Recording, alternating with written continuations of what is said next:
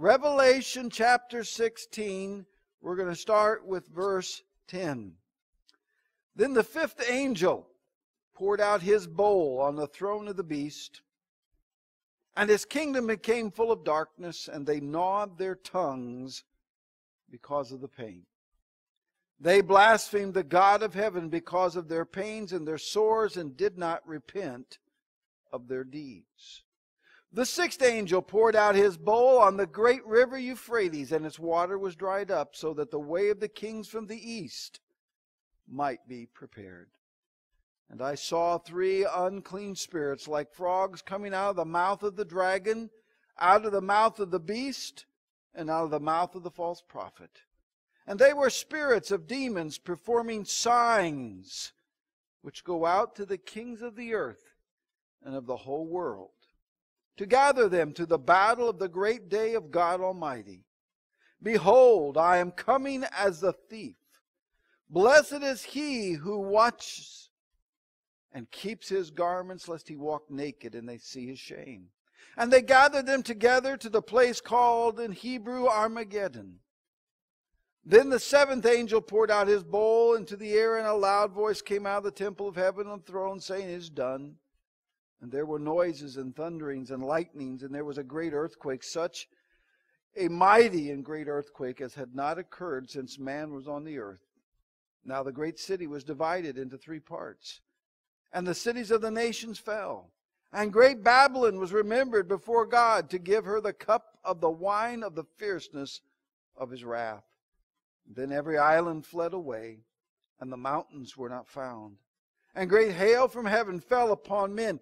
Each hailstone had the weight of a talent. Men blasphemed God because of the plague of the hail, since the plague was exceedingly great.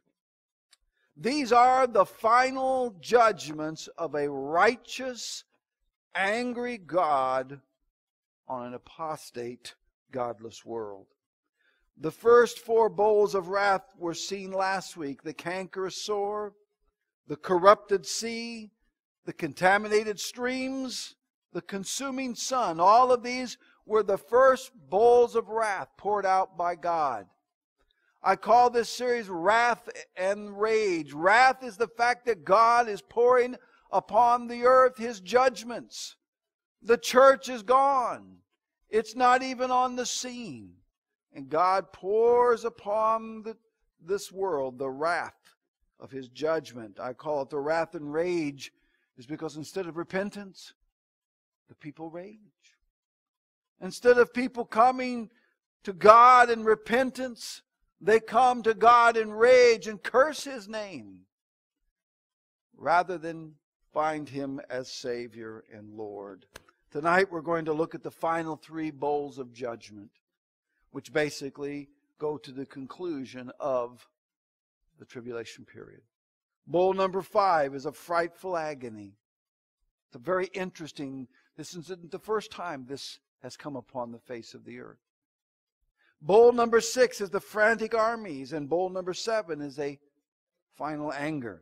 Look at the madness of the tribulation in verses 10 through 21. 10 and 11, we see bowl number five, a frightful agony. It's a personal attack in verse 10 why is it personal? We see, first of all, it goes to their place of power. And then the fifth angel poured out his bowl on the throne of the beast. All of a sudden, God says, I'm going to have that bowl poured out, and it's going to start right at the source of the power of hatred, the source of power of sin, right there to the throne of the beast, to the very throne of the Antichrist. It is a literal darkness much like that found in the, in the land of Egypt during the time of the plagues. In Exodus chapter 10, verses 21 through 23, when the darkness was so thick you could feel it. Now, with this darkness comes an agony. The Bible says in verse 10 that this darkness came, and because of the darkness, men gnawed their tongues because of the pain. Now, I've been in pain several times. I've had some crazy things happen. car wrecks, things going on. I've had my knee dislocated. I've had things happen. You wonder how in the world, you know, you, you're going to handle this pain. But I have never gnawed my tongue. But this is a picture of hell on earth. The Bible says in hell they'll gnaw their tongue, they'll gnash their teeth. And what we see here is a personal play, attack to the place of power. It's also to their place of punishment. The Bible says it's going to be like hell. This is where they're going. This is a, a precursor of what hell is going to be like for these people. Again, they're going to feel a little hell on earth. Can you imagine the tragedy of that? Many of the world will fall in agony in this darkness. Now, in the Egypt, the, uh, the children of Israel did not have the darkness. It doesn't mention this here, but perhaps the believers won't have the darkness. This is something that's going to settle down. It's not like it comes in a wave, but it may be pockets of darkness. And we see the people there will have a personal understanding of what hell is going to be like. They'll gnaw their tongues in pain. Verse 11, we see a personal abandonment. The Bible says, and they blasphemed the God of heaven because of their pain and their sores, and they did not repent of their deeds. They had that cankerous sore. Remember when the the the mark where the mark is at, that's where that sore will appear. They'll they'll blaspheme God, the Bible says. They'll hate God. They'll shake their fists at God. We see a tormented rejection. Physical torment affects the heart. Did you know that? You know, people in the hospital are not the same like everybody, you know, like they are normally. They're a different person in the hospital. Why? Most of them are in pain. And when you're in pain, you're not yourself. These people, they turn on God. They are so tormented. The Bible says that in verse 11 that they blaspheme God because of their pain. And then also a troublesome rejection they reject God too. The Bible says they, they blaspheme Him, they reject Him. We won't have anything to do with you, God. We see physical pain affects spiritual decisions too.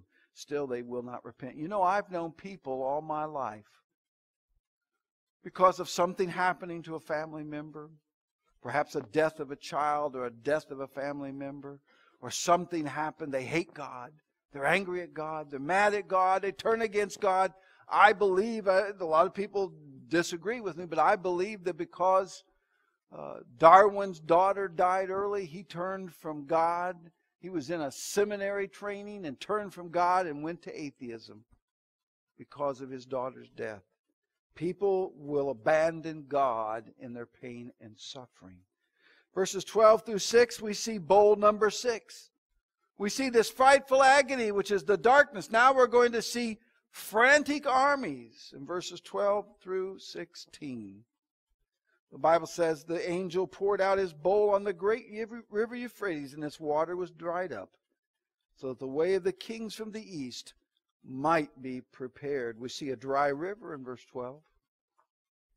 The pouring out of the Euphrates, the angel pours his bowl upon their Euphrates, and it just dries up. Do you know they can do that today? They have the Aswan, not the Aswan Dam. There is a dam in Turkey that they can they can put up, and it'll dry the Euphrates River right up. The Aswan Dam is down in Egypt, but the one in in Turkey they can dry up that river. That's very interesting.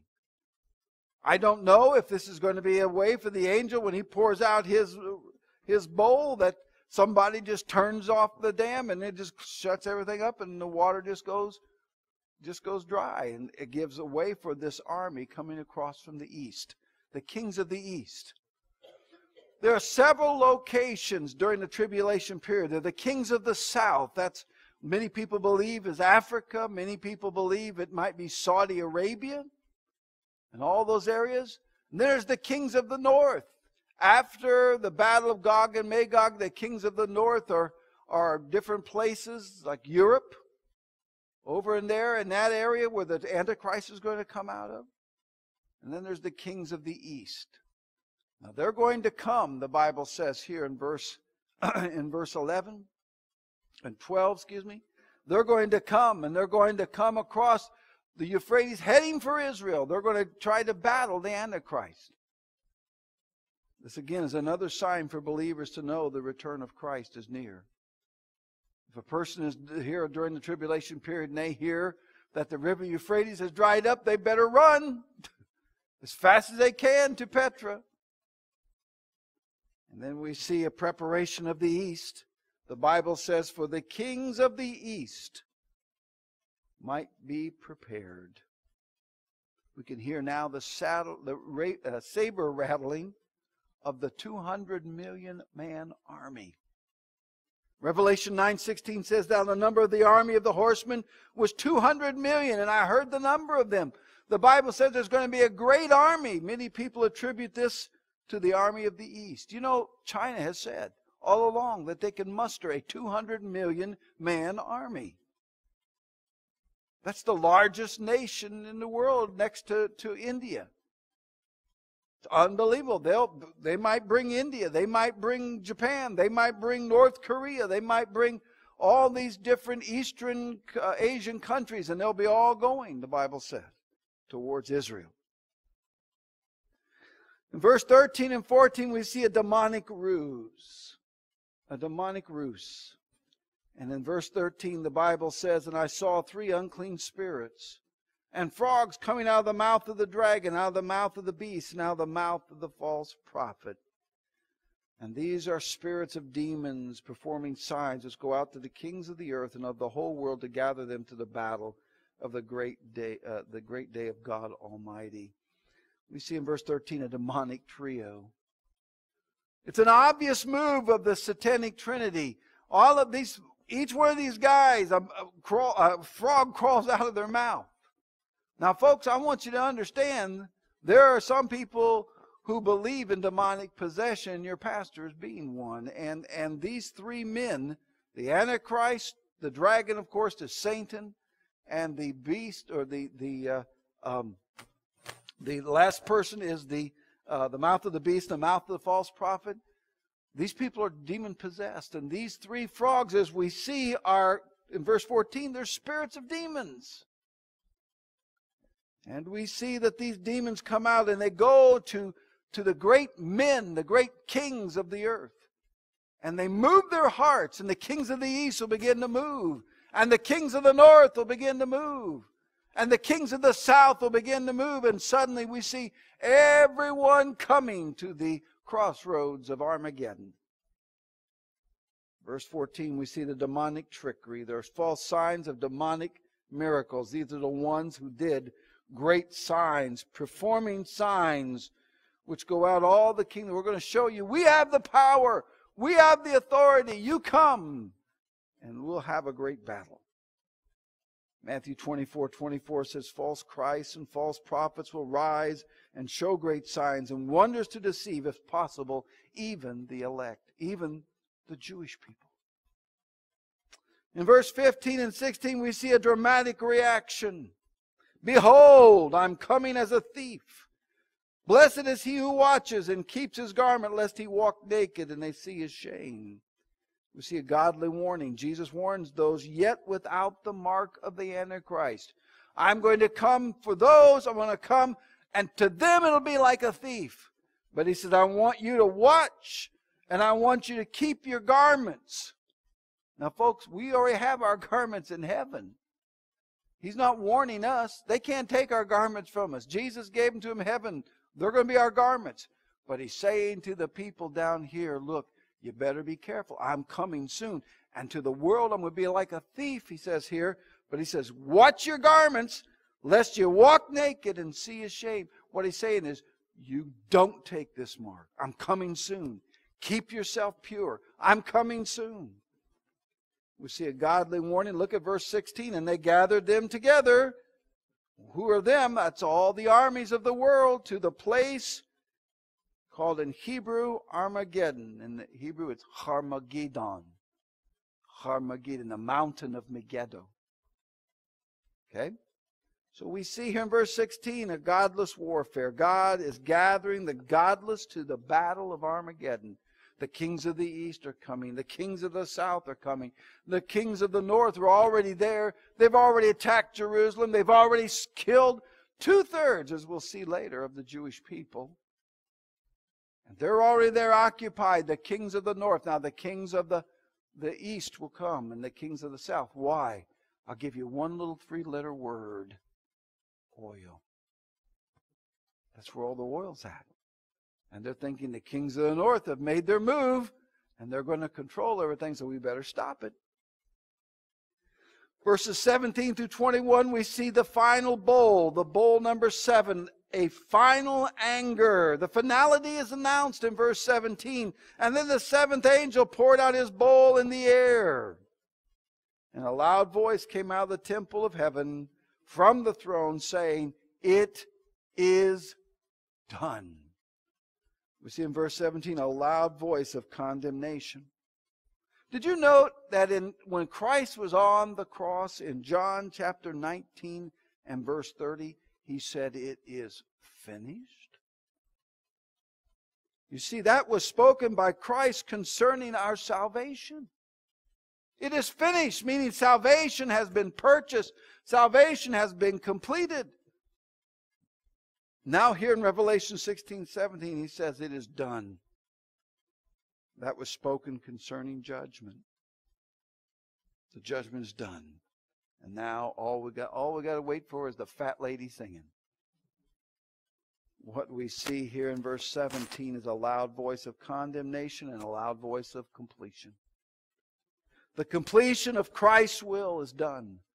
The world has come to total agonizing hatred of God. They're in pain, they're in suffering. All the three great armies come together. But they don't realize, they don't know, here comes Jesus.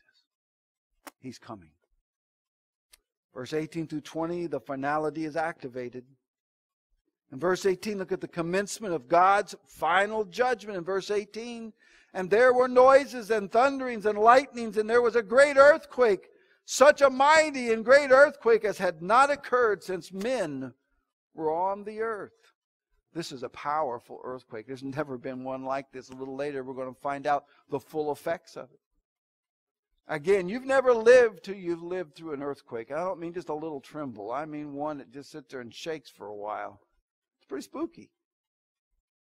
The most, the, the most stable thing in your life is the earth, and it's moving. Very interesting. In verse 18, we see the sights, the sounds, and the shakings. Verse 18, it says there are noises, the sounds, the thunders and lightning, the sights, and there is a great earthquake, the shakings. We see the conditions of God's final judgment has come in verse 19 and 20. Now the great city was divided into three parts, and the cities of the nation fell. And a great Babylon was remembered before God to give her the cup of wrath, cup of the wine of the fierceness of his wrath. We see in Mark 13, 19, for in those days there will be tribulation such as never been since the beginning of creation, which God created until this time, nor ever shall be. Nothing like this ever before. No battle ever before. Nothing has ever been like this. God is coming. In verse 20, the Bible says very, very simply, then every island fled away and the mountains were not found. Folks, that's a pretty powerful earthquake. That's shaking the earth. Mountains will crumble. Islands will just vanish. There'll be great waters. There'll be great tsunamis. There'll be great earthquakes. All of this is going to happen. We're going to see the moment of triumph here in a moment. We're going to look at different, different uh, uh, portions of Scripture. I want you to, to turn there as best you can. We're going to talk about a moment of destitution here. First of all, most of the Jewish people by this time will have died. Two thirds of them, four, if it happened today, 4.6 million Jewish people will die by this time. Turn to Zechariah, the 13th chapter. Now, Zechariah is right next to Malachi. Matthew, you go back one, that's Malachi in the Old Testament, and you got Zechariah. We'll be in Zechariah for a while, but in Zechariah 13 8, Zechariah 13 8, and it shall come to pass in all the land, says the Lord, that two thirds of in it shall be cut off and die, but one third shall be left in it. Two thirds of the Jewish people are going to die. The Antichrist is going to come into the land. He's going to present them a, a housewarming gift. They're going to they're going to dedicate the temple. We got the temple to dedicate, and the Antichrist. Surely you're going to invite me. Sure, we'll invite you, but you know you can't come in. But we'll let you come off and see it. So he goes. He says, "Oh, by the way, I got you a housewarming gift, and I'm putting it in the temple. It's a statue of me." And that's when the Jews say, No, no, you're not God. We're not going to we're not going to worship you. And that's when he'll have his army already there waiting and he'll turn on them. And two thirds of the Jewish people will die. The north part of the land. When they attack Jerusalem, they always attack from the north. So they're going to come down and the and they're going to attack all that area up in, in uh, up in uh, uh, Galilee area. Will all the Jews will die. Samaria area, the Jews will die. Judea, the Bible says they will flee. So the southern, that's how I know it's going to be up in the north they're coming from, because the southern Jews will be able to escape into Petra. By the mark they will die. Some of them will associate with the Antichrist. Some of the Jewish people will accept the mark and they will be doomed to die by their martyrdom, the affliction of the Antichrist. They will refuse the Antichrist and his mark, and the Antichrist will kill them.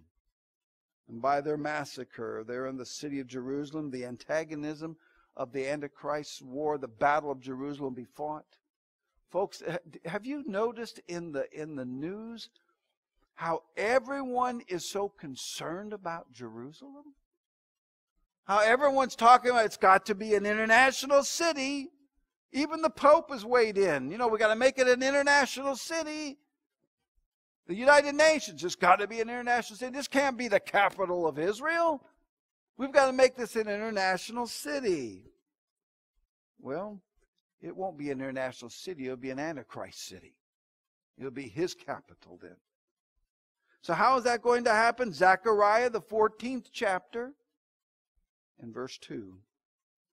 For I will gather all the nations to battle against Jerusalem. This is not Armageddon. The city shall be taken, the houses rifled, and the women ravished.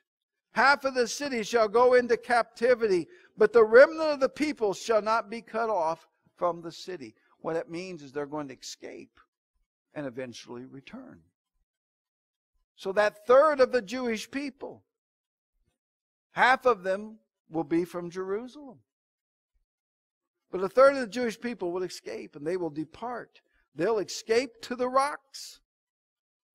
A third of the Jewish people, that's 2.3, if it were today, 2.3 million people will escape to Petra. It's like the Exodus in reverse. And they'll go to Petra.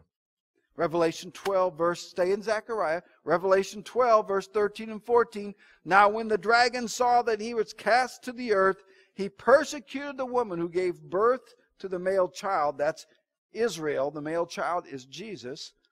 Verse 14. But the woman was given two wings of a great eagle that she might fly into the wilderness to her place where she is nourished for a time. That's one. Times. That's two. That's three and half a times, that's three and a half years from the presence of the serpent. That's how we know that the Antichrist is going to attack Jerusalem in the middle of the tribulation period.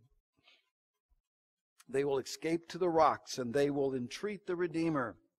Back in Zechariah chapter 13, verse 9.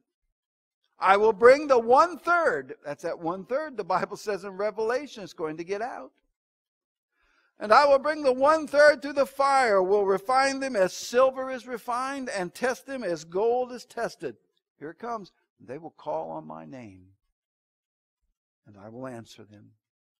I will say, This is my people. And each one will say, The Lord is my God. Do you remember when Jesus was there in Israel, in Jerusalem, in the last week, what they call the Passion Week? that he cried to Jerusalem and said, Oh, oh, I would, if I could, I would gather you into myself like a hen does her chicks. But he says, I will not come until you say, Blessed is he who comes in the name of the Lord. Now, folks, listen. That's exactly what the Jews in Petra will say. The Antichrist will send a portion of his army down there to Petra to try to fight them. God will stop them. But they'll be waiting for them there, and they'll see this great army waiting to destroy them, and they'll say, Who do we turn to? And they'll say, What about Jesus? And they'll call on his name, and they will be his people, the Bible says. Romans 11, 26 and 27 says, And so all Israel, the remnant, all Israel, all 2.3 uh, million, all Israel will be saved, as is written, the deliverer will come out of Zion, and he will turn away ungodliness from Jacob. For this is my covenant with them when I take away their sins. The Jews will be saved. We're going to see now a moment of destruction. I want you to go, keep your finger here in Zechariah. Briefly, I want you to go to Isaiah 63. Isaiah 63, and we're going to read through four verses, so I want you to bear with me there. That's why I want you to turn there.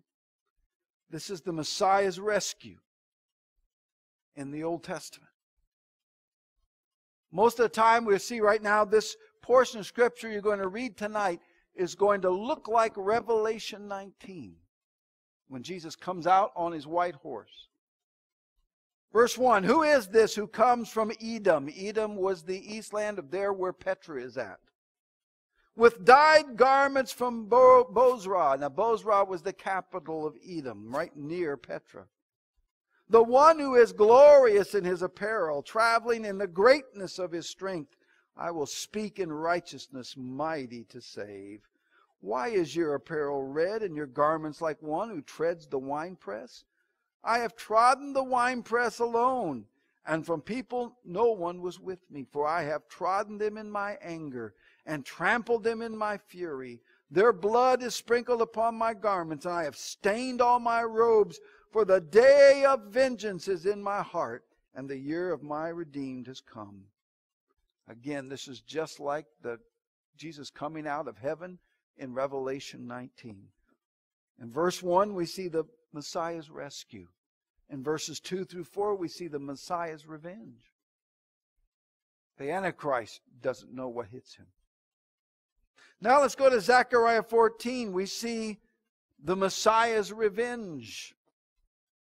The Messiah's revenge. In verses 3 through 5, Zechariah 14, 3 through 5, we see the Messiah's presence. Then the Lord will go forth and fight against those nations as he fights in the day of battle. And in that day his feet will stand on the Mount of Olives, which faces Jerusalem on the east.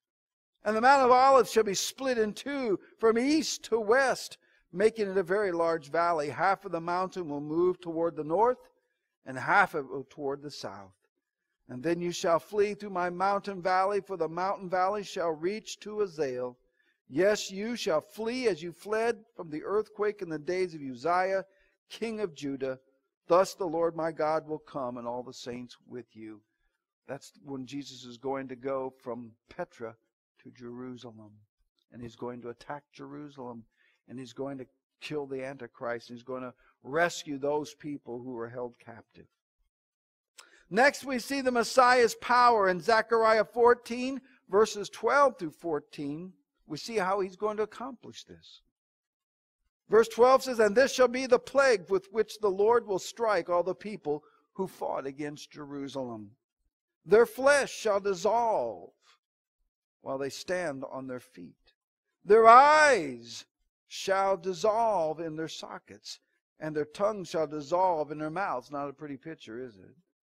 Verse 13 It shall come to pass in that day that a great panic from the Lord will be among them, and everyone will seize the hand of his neighbor and raise his hand against his neighbor's hand.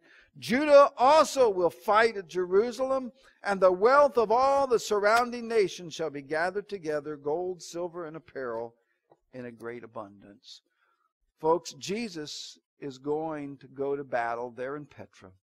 He goes to battle there in Jerusalem and eventually there up in Armageddon. He destroys the Antichrist. He destroys the false prophet. And he will capture Satan and throw him in the bottomless pit for a thousand years. Jesus will establish his kingdom through the judgment of the sheep and goats, as found in Matthew 25, and Christ will reign on the earth for a thousand years. Now, how should we respond to this? I want you to turn your Bible back to Revelation. I want you to go to Revelation chapter 22. Revelation chapter 22. Now, we have flown. I do mean flown through the prophecy. This is the latter part of the last part of the second half of the tribulation period. Jesus is going to come back. We're going to rule and reign with him. Satan will have but a season. He only has seven years upon this earth. The Antichrist will only have seven years. The false prophet will only have seven years. But Jesus is going to come back and we're going to rule and reign with him. Those who have been judged as goats will go to hell. Those who have survived the great battles of war and have been judged as sheep will go in to populate the kingdom.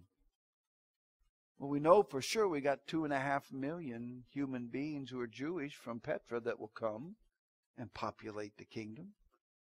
We don't know how many others will be there. What other Gentiles, perhaps somewhere in the world, in Europe or in Asia or Africa, that will come and be judged and be found available to go into the kingdom. Verse 17, how should we deal with this? Revelation 22 17. And the Spirit and the bride say, Come. And let him who hears say, Come. And let him who thirsts come. And whoever desires, let him take the water of life freely. The first thing we must note, we can't delay. Don't delay, be saved. Our friends need to be saved. Our family members need to be saved. Our next door neighbors need to be saved. Don't delay, the Bible says. Look at verse 18 and 19. Don't depart. Verse 18 says, For I testify to everyone who hears the words of the prophecy of this book. If anyone adds to these things, God will add to him the plagues that are written in this book. Verse 19. And if anyone takes away from the words of the book of this prophecy, God shall take away his part from the book of life, from the holy city, and from the things which are written in this book. That's a pretty sobering thought. Bible says don't mess with Revelation. There are some people believe that because Revelation is the end of the Bible, you don't mess with the Bible.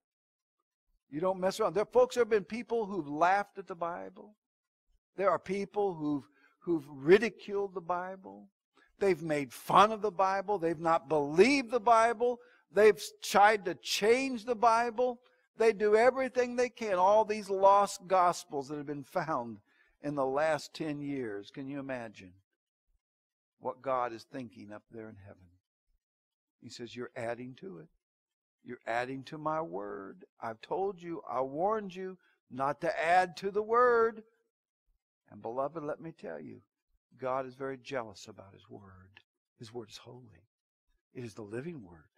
It is the Word that Jesus says, Heaven and earth shall pass away, but my Word shall not pass away. What does that mean? That means you and I will be studying the Bible throughout all eternity. I don't know if we're going to have a one book library, but who cares, right? It's the best one to have. Finally, we don't delay verse 17. We don't depart in verse 18 and 19. And finally, in verse 20, we don't disregard. Verse 20 says, He who testifies to these things says, Surely I am coming quickly. Amen. Even so, come, Lord Jesus. Don't disregard it. Jesus is coming soon.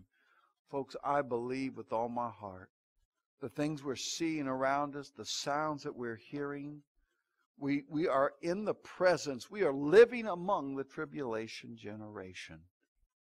And I say, Jesus is coming quickly, and we can answer like John, even so, come, Lord Jesus. Jesus is coming soon. We ought to get ready. Now, folks, I don't mean that we sell everything we have, buy some white robes, and get on top our roofs and wait. I think those there's one word for a person like that, idiot.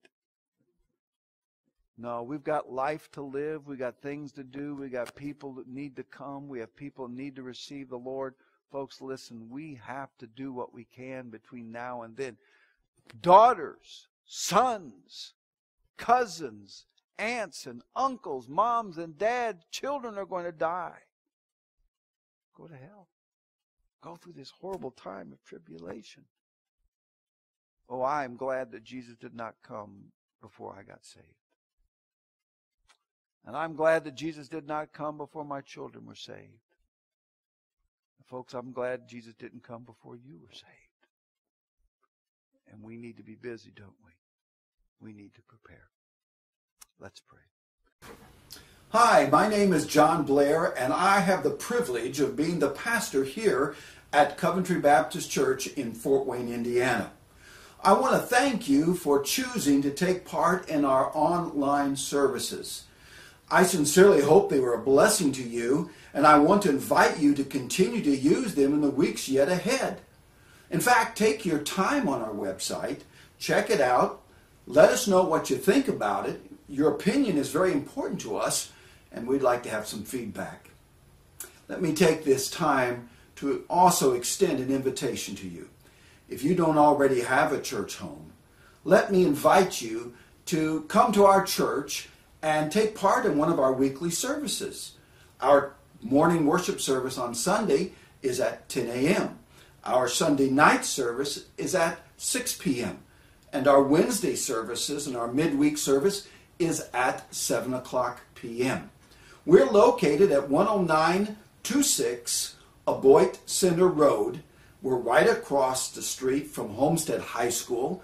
Uh, just get on our website. We have a detailed map and some instructions on how to get here. Again, thank you for choosing our website and our services. I pray that the Lord will bless you and keep you. I hope to see you this Sunday. Blessed be the tie that binds our hearts in Christian love, the fellowship.